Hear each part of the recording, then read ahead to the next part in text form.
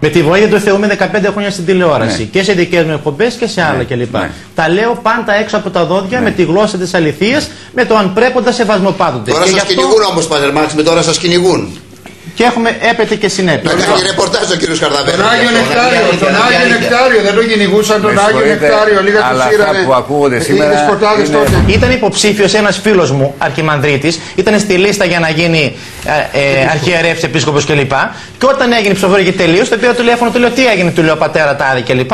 Μου λέει τι να γίνει, μου λέει πατέρα Μάξιν, δεν ξέρεις, μου λέει. Άμα δεν είσαι τιούτος, Α, χειροκροτάω. δεν γίνεσαι σήμερα αρχιερέας. Μπράβο, συγχαρητήρια. Τα λεφτά. Εγώ χαίρομαι που τα λέτε. Μα αυτή είναι η αυτά. πραγματικότητα. Χαίρομαι Και γι' που αυτό σας μας τιμάει πολεμάνε. αυτό. Αυτή είναι η πραγματικότητα. Μόνο με την αλήθεια. Δεν- Όταν και, ακουστεί η συγγνώμη, αλήθεια γίνονται, από εδώ, δημόσια, γίνονται, κοιτάξτε να τι κάνουνε. Υπάρχουν κύριε Χαρδαβέλα κληρικοί, ξεκινάνε από διάκι, τους παίρνουν κοντά κάποιοι ανώμαλοι αρχιερείς, τους μειούνε, τους κάνουν και αυτούς όμοιους, δεν φοιτούν ποτέ σε μοναστήρι, γράφονται σε ένα μοναστήρι φάντασμα το οποίο δεν πατάνε ποτέ, ζουν όλη τους τη ζωή μέσα στην κοινωνία και μέσα στα, στα δαμιαρίσματα χωρίς να ξέρουν τι είσαι τι μοναχισμός και μετά αυτοί ψηφίζουν, παίρνουν ανθρώπους κοντά τους, τους βάζουν ηγουμένους, είναι όμοιοι και πώς να διδάξουν Έτσι αυτούς; λειτουργεί η μαφία. Ε, πατέρα. γνωρίζω κληρικό, ο οποίος ξεκίνησε από διάκος στην Πελοπόννησο.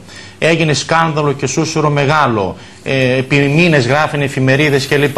Στη συνέχεια για ανήθικότητες κλπ. Στη συνέχεια φεύγει από εκεί, πηγαίνει σε κάποια άλλη Μητρόπολη προς τη Στερεά κλπ. Κάθεται εκεί, δημιουργεί άλλα προβλήματα και σήμερα βρίσκεται δεσπότης, Μητροπολίτης, έτσι, και ε, έφτασε στο ύπατο αξίωμα της, της, της αρχιεροσύνης.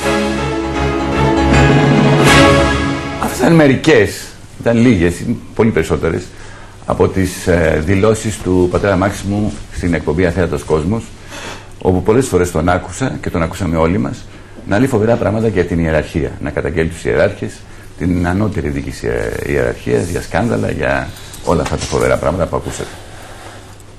Το ερώτημα μου ήταν μήπως αυτό προκάλεσε. Και αυτή η φωνή, αυτές οι καταγγελίες ε, ουσιαστικά τον ε, οδήγησαν στο συγκεκριμένο σημερινό αποτέλεσμα να πρέπει να φύγει ακόμη και από την Κόρινθο. Ε, εάν ήταν τα πράγματα έτσι, ή αν είναι τα πράγματα έτσι, τότε έχει δίκιο ο Μάξιμος.